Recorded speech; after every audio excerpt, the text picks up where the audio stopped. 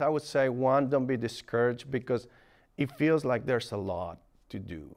And in a way there is, but every little step is a step forward. So it, it might seem overwhelming, and sometimes it is because you start thinking, oh my God, I have to put all these things together. And some people say this, and some people do this. And they're talking about ABC cars, and they're talking about blah, blah, blah. And then you think, what am I doing? Any single step, I think, it's important. Every little step is a step in the right direction.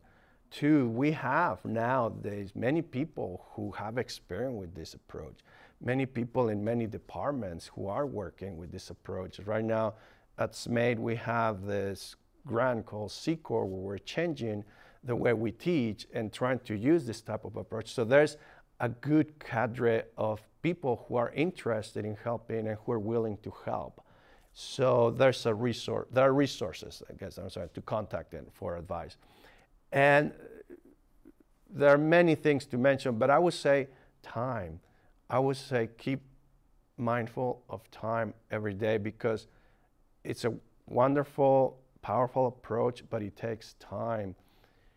Usually, the amount of time you have planned, it's longer because activities, because class discussions takes longer than you sometimes think. So be prepared for the idea that you plan to teach this much and you might end up teaching this. It's something to keep in mind. It takes time. And it comes again with doing it and experience. You start finding out roughly how long it actually each concept takes to understand.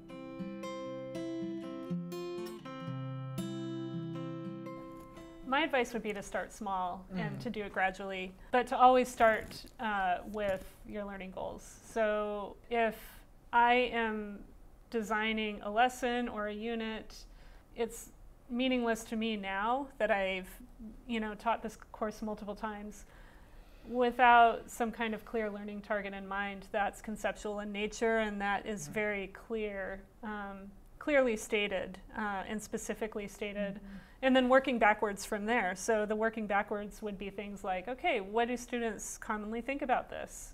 What difficulties do they have around it? How will I know what my students think? Uh, what will I do to bring out that formative assessment and to figure out what they know and to help them to articulate what they know to each other?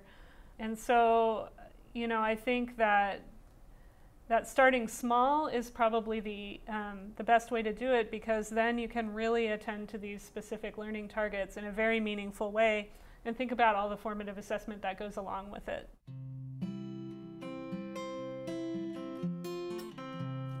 with this curriculum, I had had students really saying things like, wow, you know, I, I, well, I didn't, now I understand this, or I didn't realize this was happening. It's that stuff that's so fun with this class. It's just, you know, being able to see that growth and that, that being able to apply those concepts to, to other things. Mm -hmm.